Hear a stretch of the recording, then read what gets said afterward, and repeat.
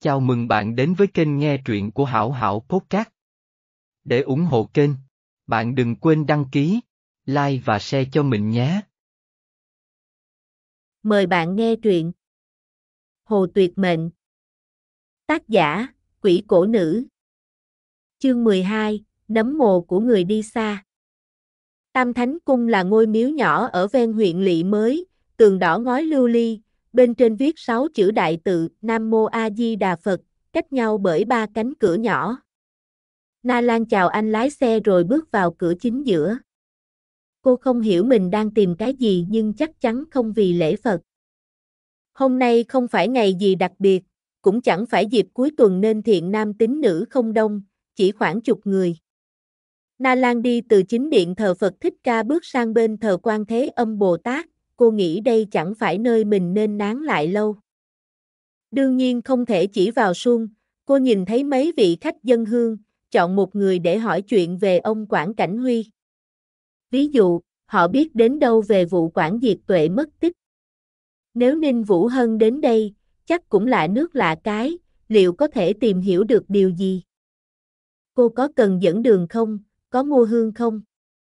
Một người khách dân hương cao tuổi, mặc áo tơ tằm, quần đuổi, đội mũ rộng vành, khuôn mặt gầy gầy đeo kính râm trông rất phong độ, nhưng hai tay không cầm thứ gì. Na Lan lấy làm lạ, nếu mình mua hương thật, thì ông ta lấy gì mà bán? Cô lắc đầu, cảm ơn, không cần à, tôi chỉ vào xem thôi. Cô chắc không phải người ở đây. Đôi mặt sau cặp kính râm hẳn là rất tin tường. Nhưng, người nơi khác đến du lịch cũng không vào miếu này. Na Lan chợt nhận ra đây là đối tượng rất tốt để hỏi thăm. Ông nói đúng, tôi đến, vì nghe nói huyện Mai có hai danh nhân tầm cỡ là Diệp Kiếm Anh và Quảng Cảnh Huy. Huyện đã có nhà lưu niệm và vườn lưu niệm Diệp Soái, còn ông Quảng Cảnh Huy vẫn đang mạnh khỏe nên huyện nhà chưa lập công trình nào tôn vinh. Tôi muốn biết thêm các sự kiện về ông ấy. Cô băn khoăn, mình hỏi thế này liệu có sống sượng không? Tại sao cô lại quan tâm đến ông Quảng Cảnh Huy? Đúng là câu hỏi của cô chưa khéo. Tôi, là phóng viên báo Đại học Trung Sơn, muốn giới thiệu về ông Quảng Cảnh Huy. Gần đây ông ấy tài trợ cho nhà trường nên chúng tôi muốn đưa tin toàn diện hơn. Na Lan mở túi lấy cuốn vở và bút bi. Cô cũng cảm thấy mình khá giống phóng viên tôi xin phỏng vấn ông được không? Chuyện tài trợ Đại học Trung Sơn, tối hôm kia cô vừa lên mạng đọc thấy, không ngờ bây giờ lại được việc. Ông ta tò mò nhìn cô một lượt, hình như đang nghĩ xem có nên tin cô gái này không. Na Lan biết ông ta đang lưỡng lự, bèn hỏi tiếp, ông có bằng lòng cho biết họ tên không, hoặc ít ra xin ông cho biết tuổi, và, ông đã cư trú ở quảng trợ hoặc cục lý bao lâu rồi. Không dám. Tôi 63 tuổi, là người thị trấn Quảng Trợ chính gốc. Vậy là ông già nhận lời phỏng vấn, và không muốn cho biết họ tên.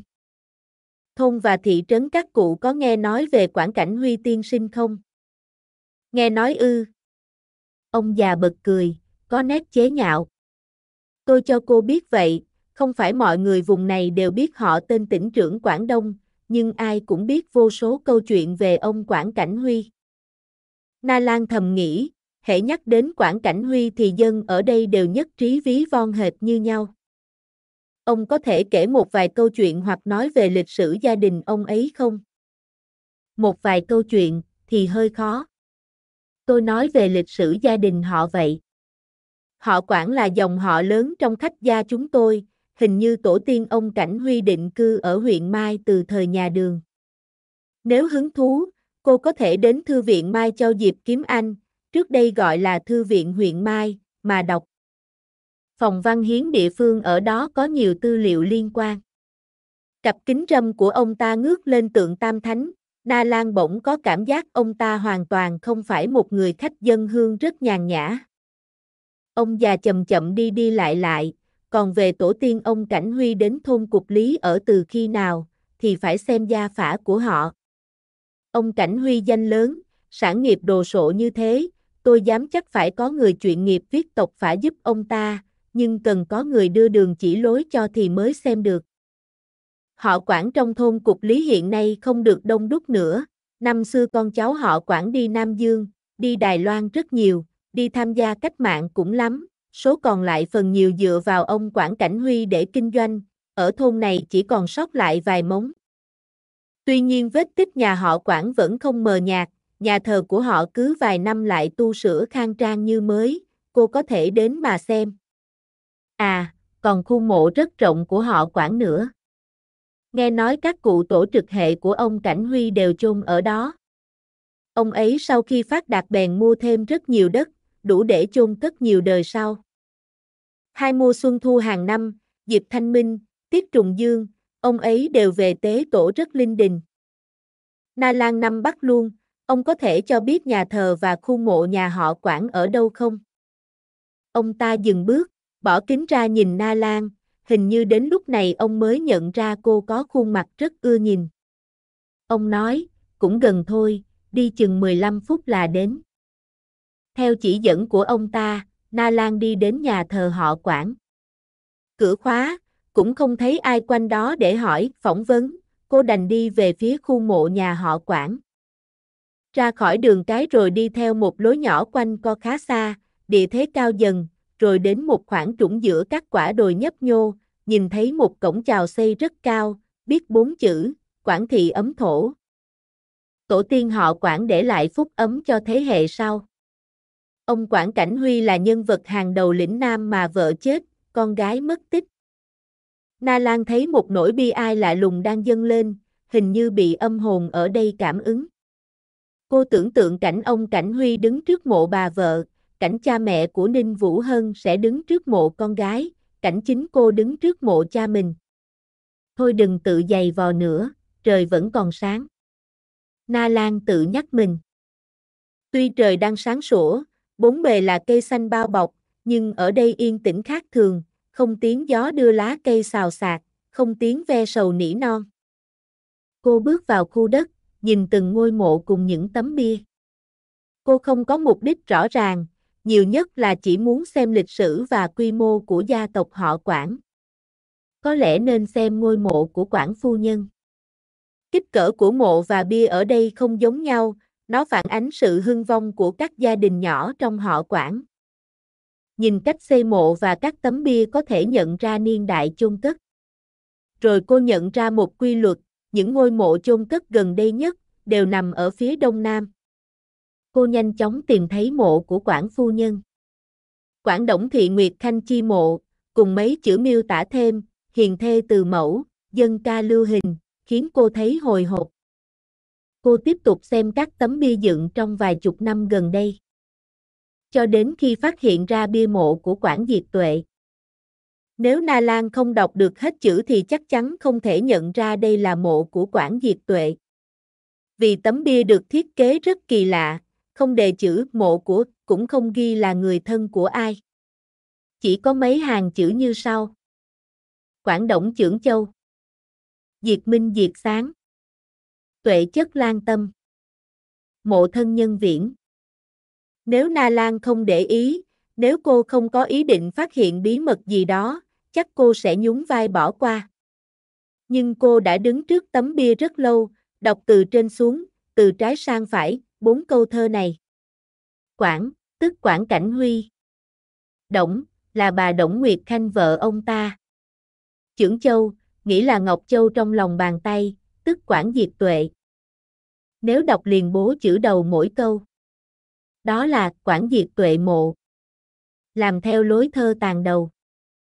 Riêng chữ Huệ được biết thay bằng chữ Tuệ, song ý nghĩ vẫn rất thiết tha. Đây chính là mộ của quản Diệt Tuệ.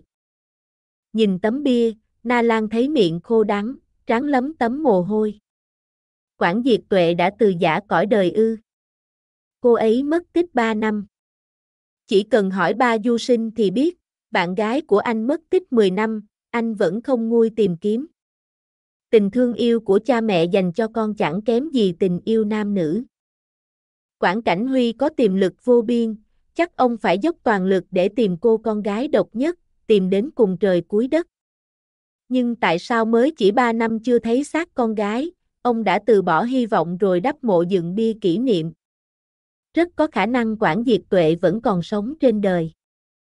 Từng có chuyện một cô gái bị bắt cóc về làm vợ, mất tích 20 năm rồi lại trở về cõi đời kia mà. Diệt Tuệ mất tích mới 3 năm, vậy chuyện này không hợp tình hợp lý. Bốn chữ mộ thân nhân viễn rất đáng để ta ngẫm nghĩ. Một giọng nói từ phía sau rất xa, bay đến, không vang dội nhưng đủ để Na Lan kinh hãi. Giọng ấy nghe quen quen. Cô ngoảnh lại, càng khiếp sợ hơn. Ở phía xa xa là ông già đeo kính râm gặp ở Tam Thánh Cung, và hai người nữa.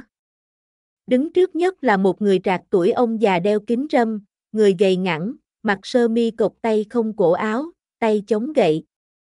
Người kia tuổi ngoài 30, cao ráo, vai rộng, lưng thẳng, cũng đeo kính râm, tay cầm ô che nắng cho ông già. Nhìn biết ngay là một chủ nhân và hai thuộc hạ. Chủ nhân là người không đeo kính râm, tay chống gậy. Ông ta bắt đầu nhấc gậy, cất bước, chân có tật nên bước đi tập tễnh. Ông ta vừa đi vừa chăm chú nhìn Na Lan, không phải quan sát mà là nhìn chằm chằm như muốn nhìn thấy cả kiếp trước kiếp sau của người ta. Na Lan đã trải nghiệm cảm giác đứng trước bọn tội phạm hình sự mà lúc này cô vẫn thấy bất an.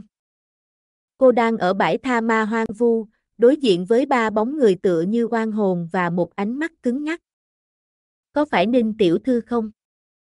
Thế là đã gặp rồi đây. Ông già tập tỉnh tay chống gậy nhưng loáng một cái đã bước đến chỗ Na Lan, ông chìa bàn tay khô đét ra. Hai người đeo kính râm cũng kịp bước đến nơi. Na Lan hơi hiểu ra vấn đề, cô chìa tay, nói, ông đang chờ Ninh Vũ Hân à. Ánh mắt ông già có nét nghi hoặc. Na Lan nói tiếp, cô ấy không còn nữa. Hai người kia bắt tay khá chặt, rồi chững lại mấy giây. Ông già hỏi, cô nói không con nghĩ là, cái ý kia. Na Lan gật đầu, chỉ vào ngôi mộ, nói, đúng thế, không còn nghĩa là thế này. Cô ấy vừa mất mấy hôm trước. Lúc này cô nhìn thẳng vào ông già. Sắc mặt ông ta càng hiện rõ nét nghi hoặc và kinh ngạc, rất thật chứ không phải giả tạo, vì cô thấy tay ông run run, chứng tỏ đang hoang mang. Na Lan hỏi, các vụ đang chờ cô ấy à? Tin tức cô ấy qua đời, tuy không phải đại sự quốc gia hoặc các tin sốc trong làng giải trí, nhưng cũng gần như chấn động thành phố Giang Kinh. Ông già mà cô gặp ở Tam Thánh Cung đỡ lời, chúng tôi rỗi rãi, cuộc sống thanh đạm, tin tức có phần lạc hậu, có lẽ nên học cách lên mạng mới phải. Na Lan đoán ra mục đích của Ninh Vũ Hân, cô định về đây để gặp các vị này. Hai bên không ấn định thời gian cụ thể nên họ vẫn nán lại cục lý để chờ Vũ Hân. Ông già đeo kính tiếp tục quan sát cô gái trẻ từ xa đến, có ý tìm hiểu thêm. Na Lan nói, tôi là bạn của Vũ Hân. Cô ấy đột ngột ra đi nên không cho tôi biết các vị đang chờ cô ấy. Cô cũng đang điều tra chuyện quản diệt tuệ mất tích à? Ông già chống gậy hỏi, ánh mắt ông vẫn không thôi nhìn Na Lan. Cả chuyện về Vũ Hân nữa. Cô ấy bị sát hại ngay trước khi định lên đường về đây gặp các vị. Tôi là người phát hiện ra xác của cô ấy. Sắc mặt cả ba đều hiện rõ vẻ kinh hoàng. Ông già chống gậy nói, có lẽ chúng ta nên tìm một nơi khác để nói chuyện thì hơn. Chúng tôi đã đợi cô ấy ba ngày trời. Na Lan cũng rất muốn trò chuyện với họ, nhưng cô không quên hỏi, xin hỏi các vị là. Ông già chống gậy nói, tôi họ đặng. Na Lan giật mình. Ông già đeo kính râm nói, đây là đặng kỳ xương tiên sinh, nếu năm xưa cô diệp Tuệ không gặp Tần Hoài thì cô ấy đã là con dâu của đặng tiên sinh, chúng ta cũng sẽ không có lý do để gặp mặt ở cái chốn nặng nề này, và có lẽ Ninh Vũ Hân tiểu thư cũng không bị chết. Hết chương 12 Cảm ơn bạn đã luôn ủng hộ và đồng hành cùng Hảo Hảo Podcast. Bạn nhớ đón nghe chương tiếp theo và đừng quên đăng ký, like và share cho kênh nhé. Chúc bạn luôn vui vẻ, khỏe và thành đạt. Thân ái, chào tạm biệt.